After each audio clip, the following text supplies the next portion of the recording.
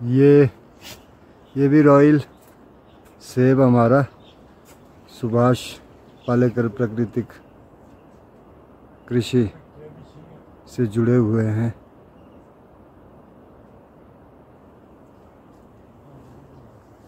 घास इसलिए है कि गाय, बैल बहुत ज़्यादा है हमारे पास तो इसलिए प्रॉब्लम आती है ज़मीन का। घास पर्याप्त नहीं होता, खरीदना पड़ता। इसलिए कहीं से भी घास इकट्ठा हो सर्दियों के लिए, हमें बहुत घास सुखाना होता। है सर्दियों में पशु के लिए हरा घास बम्ब होता है नहीं मिल पाता। तो ये रॉयल है, देखिए, इसका तोड़ान अभी शुरू कर रहे तो ये हमारे बिल्कुल लाल हो चुके हैं।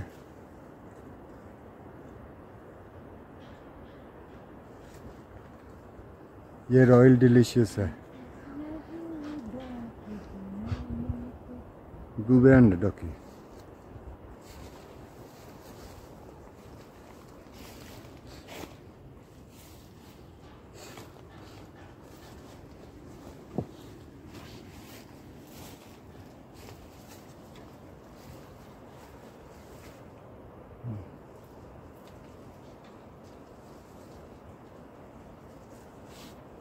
ये जो कलरफुल हो चुका है, उसको निकाला जाता है।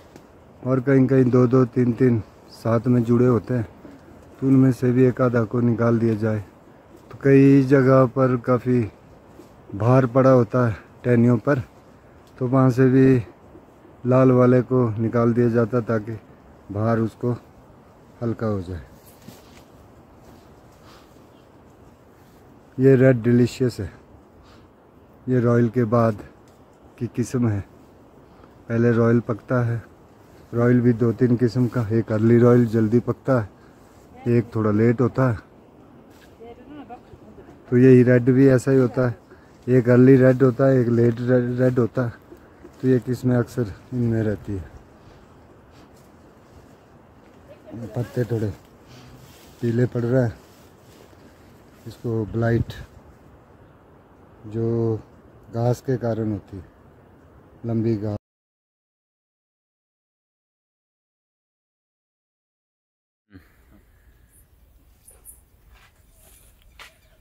मी शरद शिंदे मोडनेम तालुका माढा जिल्हा सोलापूर. आज आपण केळीच्या केळीच्या बागेत आहे साधारण दोनशे झाडं आहेत ही केळीची. आठ बाय आहे सहाची लागण आहे ह्याची. S P K Subhash Palekar कृषी. त्याच्यामध्ये ही आता नवीन पहिल्यांदाच ही आता केळ्याची येण झालेली आहे. या असं बाहेर पडल्यात आहे आणि साधारण पाच सहा पाच सहा फाण्या आहेत त्या. कुठं तर सात फाण्या आहेत त्या. हे असं आता ही कमळं मोडाय आलंय साधारण. हे असं कमळ बाहेर पडलंय बा अतिशय चांगलं कमळं बाहेर पडले ते. हे त्या पद्धतीनं असं एस पी के त्याला जीवामृत दिलेला आहे. आणि हे घन जीवामृत उली उली दिलंय. लय दिलं नाही. अगदी दोन दोन वंजळी ही दोन दोन वंजळी असं घन जीवामृत दिले जास्त काय दिलं नाही. ओके.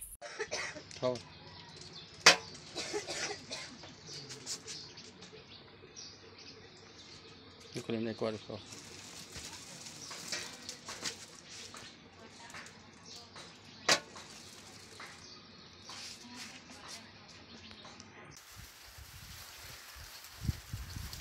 नमस्कार. मी डॉक्टर लक्ष्मीकांत जाचक पद्मश्री सुभाष पाळेकर नैसर्गिक शेती ह्या पद्धतीनं मी कडा तालुका आष्टी जिल्हा बीड इथे शेती करतो. त्यामध्ये मी पपई लावलेली आहे. त्या पपईला पपया आलेल्या आहेत भरपूर. पहा फोटोमध्ये व्हिडिओमध्ये तुम्हाला दिसत आहे.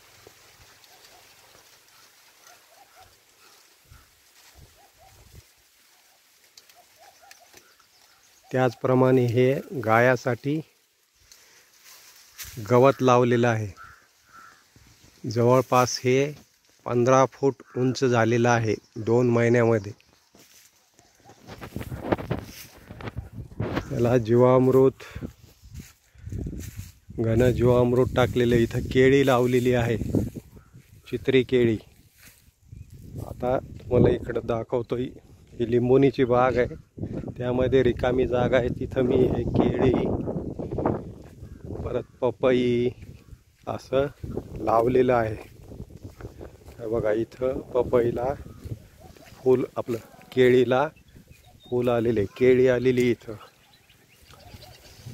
तर वाढ होईल ते पानामुळं दिसत नाही. बघा इथं दिसत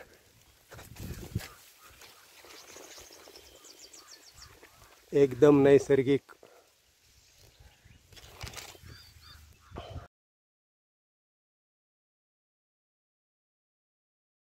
नमस्कार. हे एस पी एन एफ नेसर शेतीमधील हळद आहे. मी दोन हजार चौदापासून एस पी एन एफ नेसर शेती करतो.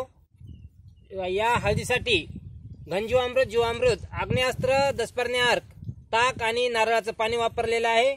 कोणताच रासायनिक खत किंवा औषध वापरले नाही. या म- कोरोनासारख्या महामारीच्या काळात नैसर्गिकरित्या पिकवलेल्या हळदीचं फार महत्त्व आहे आणि प्रतिकार शक्ती वाढवण्यासाठी हिचा फार उपयोग होत आहे. आपणास हवे असल्यास एक किलोचे ऑर्डर पॅकिंगमध्ये आपल्याला पावडर करून भेटेल. माझे नाव विश्वनाथ गोविंदराव होळगे राहणार दापशेट तालुका लोहा जिल्हा नांदेड. मोबाईल नंबर सत्त्याण्णव चौसष्ट झिरो दोन बावन्न झिरो नऊ. धन्यवाद. नमस्कार. नमस्कार किसान साथियों मेरा नाम पराग खंडेलवाल है। मैं माखन नगर जिला नर्मदापुरम, मध्य प्रदेश से हूँ। मैंने सुभाष पालेकर कृषि की विधि से हल्दी लगाई थी। अब इसे एकदम ही प्राकृतिक तरीके से प्रोसेस किया जाएगा और इसका पाउडर बनाया जाएगा। यह हल्दी की वैरायटी राजापुरी लाल गाय है।